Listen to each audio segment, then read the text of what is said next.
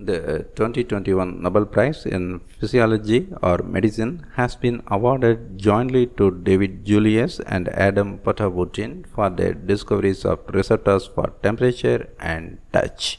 Our ability to sense heat, cold, and touch is essential for survival and underpins our interaction with the world around us. In our daily lives, we take these sensations for granted but how are nerve impulses initiated so that temperature and pressure can be perceived? This question has been solved by this year's Nobel Prize laureates. David Julius utilized capsaicin, a pungent uh, compound from chili peppers that induces a burning sensation to identify a sensor in the nerve endings of the skin that responds to heat. Ardem Patapoutian used uh, pressure sensitive cells to discover a novel class of senses that respond to mechanical stimuli in the skin and internal organs. These breakthrough discoveries launched intense research activities leading to a rapid increase in our understanding of how our nervous system senses heat, cold, and mechanical stimuli. The laureates identified critical missing links in our understanding of the complex interplay between our senses and the environment. One of the great mysteries facing humanity is the question of how we sense our environment. The mechanisms underlying our senses have triggered our curiosity for thousands of years. For example, how light is detected by the eyes, how sound waves affect our inner ears, and how different mechanical compounds interact with receptors in our nose and mouth generating smell and taste. We also have other ways to perceive the world around us. Imagine walking barefoot across a lawn on a hot summer's day. You can feel the heat of the sun, the casts of the wind, and the individual blades of grass underneath your feet. These impressions of temperature, touch, and movement are essential for our adaptation to the constantly changing surrounding. In the 17th century, the philosopher Rene Descartes envisioned threads connecting different parts of the skin with the brain. In this way, a food touching an open flame would send a mechanical signal to the brain. Discoveries later revealed the existence of specialized sensory neurons that register changes in our environment. Joseph Erlanger and Herbert Gasser received the Nobel Prize in Physiology or Medicine in 1944 for their discovery of different types of sensory nerve fibers that react to distinct stimuli, for example, in the responses to painful and non painful touch. Since then, it has been demonstrated that nerve cells are highly specialized for detecting and transducing different types of stimuli, allowing a nuanced perception of our surroundings. For example, our capacity to feel differences in the texture of surfaces through our fingertips or our ability to discern both pleasing warmth and uh, painful heat. Prior to the discoveries of David Julius and uh, Ardem Patapoutian, our understanding of how the nervous system senses and interprets our environment still contained a fundamental unsolved question.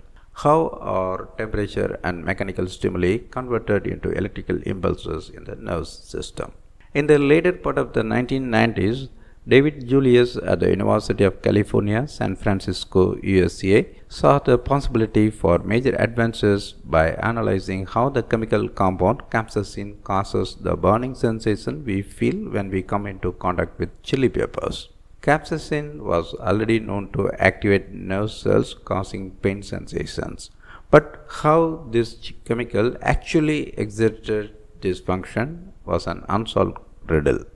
Julius and his co-workers created a library of millions of DNA fragments corresponding to genes that are expressed in the sensory neurons which can react to pain, heat and touch. Julius and colleagues hypothesized that the library would include a DNA fragment encoding the protein capable of reacting to capsaicin. They expressed individual genes from this collection in cultured cells that normally do not react to capsaicin. After a laborious search, a single gene was identified that was able to make cells capsaicin sensitive.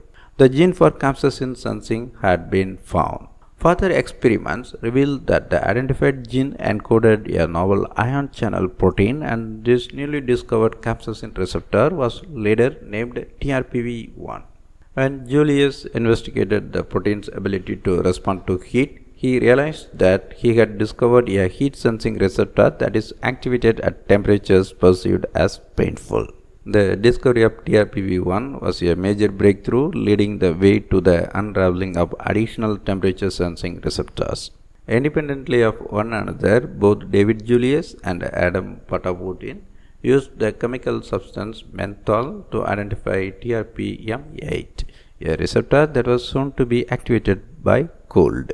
Additional ion channels related to TRPV1 and TRPM8 were identified and found to be activated by a range of different temperatures. Many laboratories pursued research programs to investigate the roles of these channels in thermal sensation by using genetically manipulated mice that lacked these newly discovered genes. David Julius's discovery of TRPV1 was the breakthrough that allowed us to understand how differences in temperature can induce electrical signals in the nervous system. While the mechanisms for temperature sensation were unfolding, it remained unclear how mechanical stimuli could be converted into our senses of touch and pressure. Researchers had previously found mechanical sensors in bacteria, but the mechanisms underlying touch in vertebrates remain unknown. Ardem Patapoutian, working at Scripps Research in La Jolla, California, USA, wished to identify the elusive receptors that are activated by mechanical stimuli. Patapoutian and his collaborators first identified a cell line that gave off a measurable electric signal when individual cells were poked with a micropipette. It was assumed that the receptor activated by the mechanical force is an ion channel and in a next step 72 candidate genes encoding possible receptors were identified. These genes were inactivated one by one to discover the gene responsible for mechanosensitivity in the studied cells. After an arduous search, Patapoutian and his co-workers succeeded in identifying a single gene whose silencing rendered the cells insensitive to poking with a micropipette. A new and entirely unknown mechanosensitive ion channel had been discovered and was given the name piezo1 after the Greek word for pressure. Through its similarity to piezo1, a second gene was discovered and named piezo2. Sensory neurons were found to express high levels of piezo2 and further studies firmly established that piezo1 and piezo2 are ion channels that are directly activated by the exertion of pressure on cell membranes. The breakthrough by Patapoutian led to a series of papers from his or other groups demonstrating that the piezo2 ion channel is essential for the sense of touch. Moreover, piezo2 was shown to play a key role in the critically important sensing of body position and motion known as proprioception. In further work, piezo1 and piezo2 channels have been shown to regulate additional important physiological processes including blood pressure, respiration and urinary bladder control. The groundbreaking discoveries of the TRPV1, TRPM8 and piezo channels by this year's Nobel Prize laureates have allowed us to understand how heat, cold and mechanical force can initiate the nerve impulses that allow us to perceive and adapt to the world around us. The TRP channels are central for our ability to, to perceive temperature. The piezo2 channel endows us with the sense of touch and the ability to feel the position and movement of our body parts.